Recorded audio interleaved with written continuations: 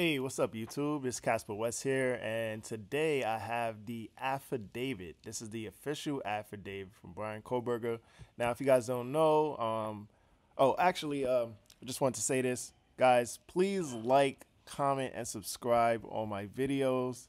I'm getting a lot of views, but I'm not getting a lot of subscribers. Um, I'm not getting a lot of, a lot of likes. So if you guys can, please like the videos. Uh, try to make this content for you guys. Um, comment on ways that I can improve. Anything that you like.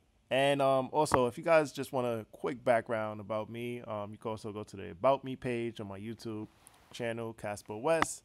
And um, I could just give you a brief overview. So I was a criminology student as well as um, Bryan Kohberger here. However, um, I didn't actually commit any crime. So um, just want to say that I was also a criminology student. I studied criminal science, and I worked in one of the worst jails in the U.S. So that's a little bit about me. Now let's get into this affidavit, guys. This is my first time reading it. I wanted to make this reaction as genuine as possible. Um, so this is going to be a shocking um, thing to me. I just heard a few things, but I haven't actually read the uh, affidavit. Now, this is like about 19 pages long. This is Exhibit A. This is a sta- statement from Brett Payne. All right, so below is the information provided by Brett Payne, who is duly appointed, qualified, and acting peace officer within the county of Latah, state of Ohio.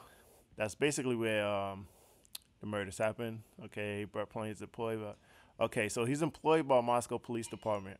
So this this whole paragraph is just giving credibility to Brett Payne as to why his statement should be uh, taken seriously. All right.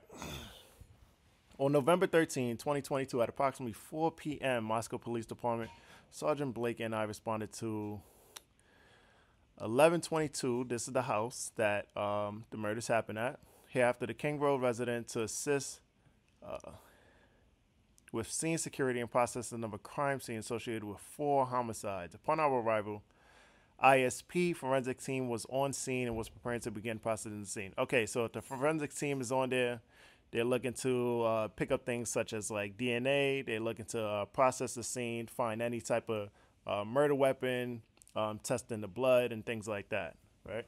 So MPD officer Smith, one of the initial responder officers to the incident, advised he would walk me through the scene. Okay, Officer Smith. And guys, I'm a, um, probably not going to read the whole thing. Um, I'm not sure if you guys are also reading too as you guys are watching this video, but um, I'm going to just pretty much sum it up. I know I'm going to read kind of quick and um, probably skip a couple paragraphs, but um, I'm going to just try to get to the juicy information as quick as possible, okay?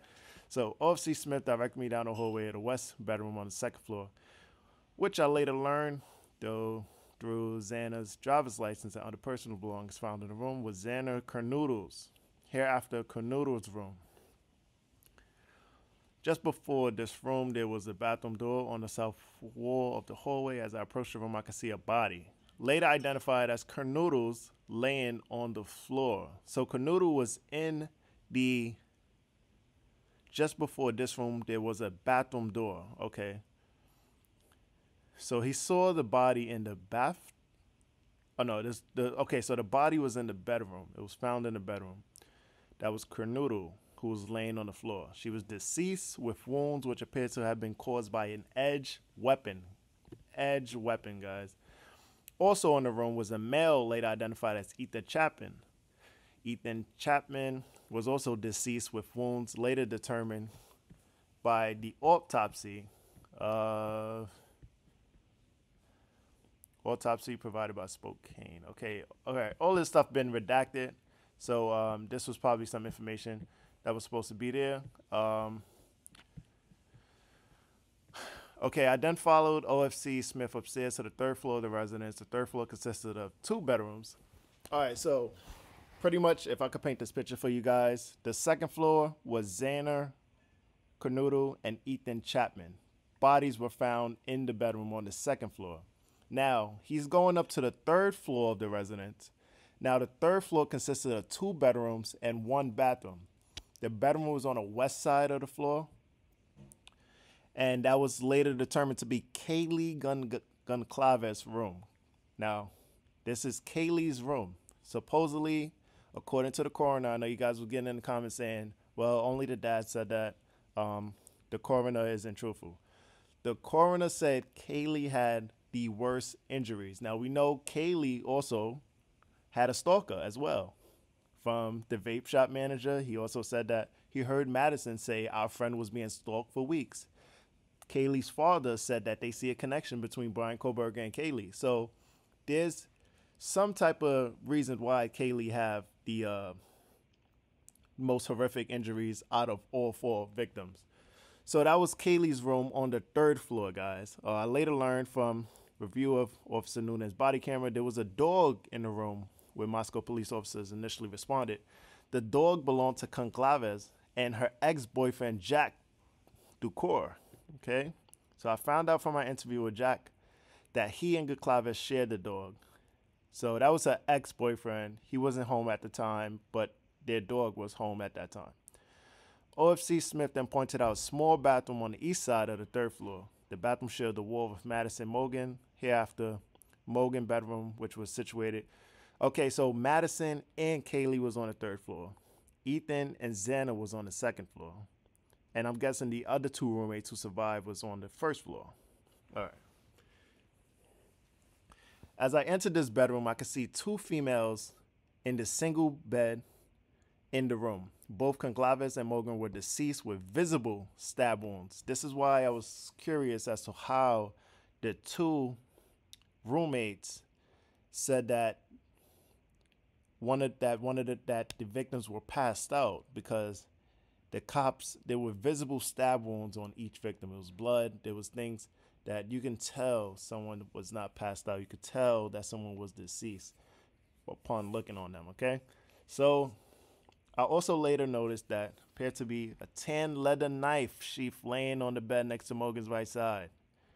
So it was a tan leather knife laying on the bed next to Morgan's right side. It was later processed and had KA-BAR, USMC, and the United States Marine Corps. Now, USMC is the U.S. Marine Corps, guys. Eagle Globe and Anchor insignia stamped on the outside of it. That's big, all right? The Idaho State Lab later located a single source of male DNA left on the button snap of the knife. Oh my gosh, guys. Oh my gosh. So, this whole time, right? Remember, we had Chief Fry of the Moscow Police Department. We had um, the detectives. They said that there was no murder weapon, right?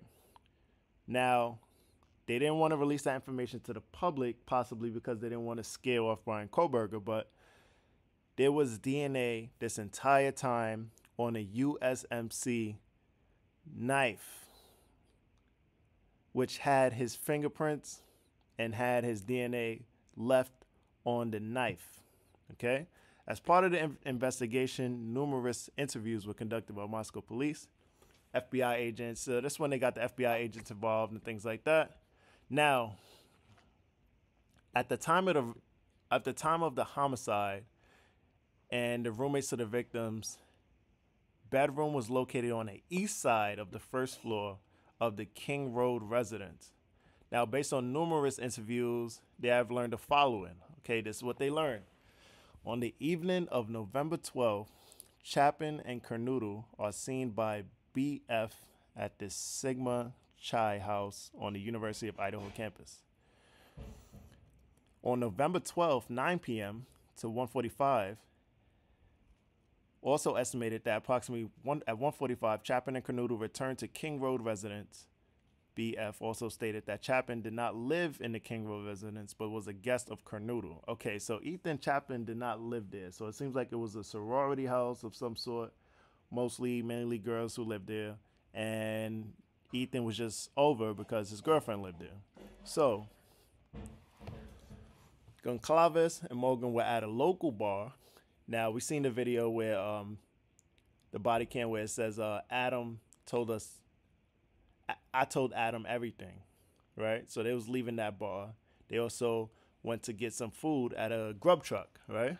So this was the grub truck, and that live stream also showed them getting the food and having a slight argument with um, a gentleman over there. So the Grub Truck had a streaming platform, Twitch, which is available for public viewing on their website. The video was captured by law enforcement, and the private party reported that they provided a ride to Goncalves and Morgan at approximately 156. Now, what was this uh, private party? They never said. They actually redacted that. So, um, okay, guys, part two is the next video. Now, possibly have a part three. So continue clicking on to the next video um, so that you can finish. Um, this is possibly going to be a four part analysis. So um, definitely stay in tune.